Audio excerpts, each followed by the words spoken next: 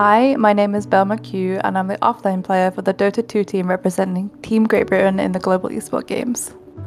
I started playing Dota back in 2014 after my friends in college introduced it to me. I was watching Dota since about TI3, uh, but unfortunately I didn't have a good enough computer to play at the time. Uh, my dad had a really bad PC, so I was playing on about 40 FPS for about two years after I first started playing.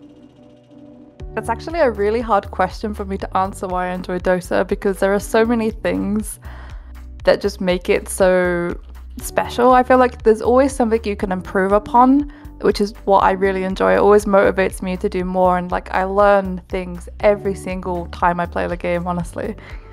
There's always something new to learn.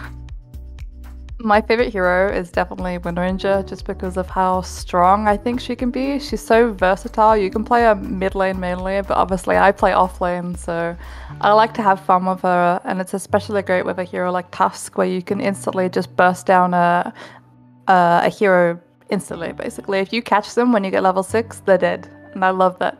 I love to be initiating on people, and I love just instantly stomping someone super fast.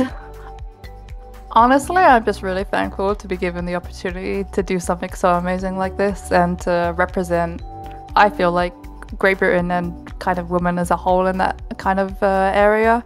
I feel like it's something we need, and we definitely need more events like this.